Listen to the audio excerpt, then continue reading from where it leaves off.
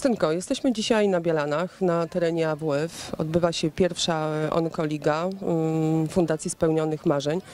Powiedz, no ty od lat się angażujesz w tą fundację, w jej pracę. Dlaczego? Dlatego, że e, ja kocham pomagać. E, Zawsze na to pytanie odpowiadam w ten sam sposób. Uwielbiam pomagać, a jeszcze jak widzę dzieci, które są przykładem dla moich synów, dla syna tutaj najstarszego, który obok mnie stoi, e, jest dla mnie bardzo takie motywujące do, do życia, do działań, do samorozwoju i przede wszystkim Tomek Osuch jest mi bardzo bliski z Zuśką i już nawet prywatnie bardzo bliscy są mi sercu i ja po prostu czuję, że chcę to robić i będę to robić. Ale fundacji jest wiele, powiedzmy sobie otwarcie. Dlaczego wybrałaś akurat tą fundację Tomka Osucha? Dlatego, że to są dzieci, które zmierzyły się z bardzo trudnym, że tak powiem, zadaniem w swoim życiu. Choroba nowotworowa jest naprawdę jedną z, tak jak wiemy, no, najgorszych chorób, y, jakie mogły spotkać. I oni są przykładem, że można, że można wygrać, że, że można walczyć, dalej żyć, być aktywnym sportowo i, i pod każdym innym względem.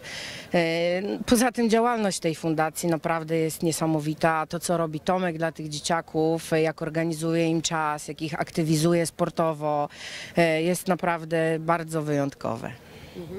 Powiedz nam, Jaser, a ty dlaczego tu z nami jesteś? żeby wspierać moją mamę. Mhm, ale powiedz, będziesz się integrował też z tymi dziećmi dzisiaj? No chyba tak. Justynka, powiedz co u Ciebie zawodowo, bo wiemy, że jesteś bizneswoman. Słyszałam, że jesteś nominowana teraz do Nagrody Wiktorii. No właśnie się dowiedziałam. Jest mi bardzo miło. To jest, zdaje się znak jakości przedsiębiorców. Zawodowo dużo się dzieje. Eee, wprowadzamy franczyzę Amrit y, na teren Polski. Pracujemy teraz nad dużym projektem e, ze wspólnikiem. E, chcemy tą franczyzę wprowadzić, e, chcemy rozwijać dalej firmę.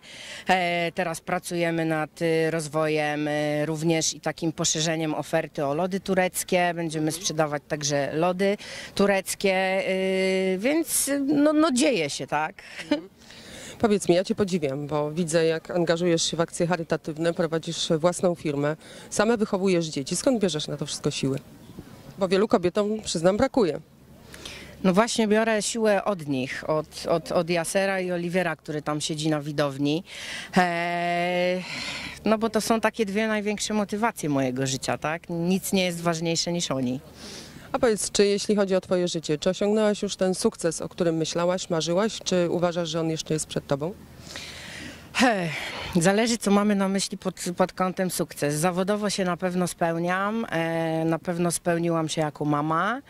E, natomiast cała reszta, myślę, że tak dużo się teraz dzieje w moim życiu i tak się zaczyna wszystko jakoś pomału odczarowywać, że wszystko czas pokaże. Poza tym, że angażujesz się jakby czynnie, jesteś też zawsze partnerem praktycznie fundacji.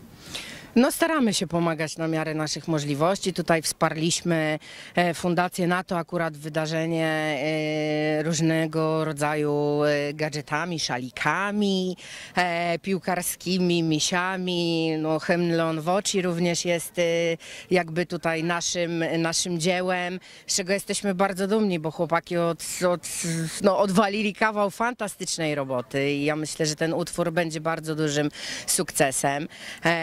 E, no, a partnerem jesteśmy na tyle, na ile zawsze możemy. E, Warto pomagać, to dobro wraca i mi to daje bardzo dużo radości.